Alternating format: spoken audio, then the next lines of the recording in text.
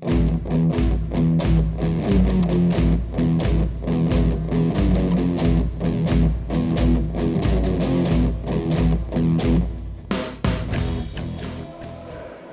I mean, I've been meaning to ask No. you about. Well, I mean, I want to ask you. No. Can I just ask you this one? No. Well, let me just hold the belt at least. No. So, I mean, why'd you lose tonight then? Oh, guys, I'm glad I finally caught you together. You know, I was talking to Mr. Gulak, and he said because you did so well in your speech tonight, you're now going to help him with his speech. It's your new project. No.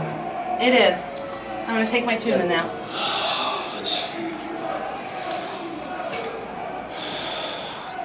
Come on.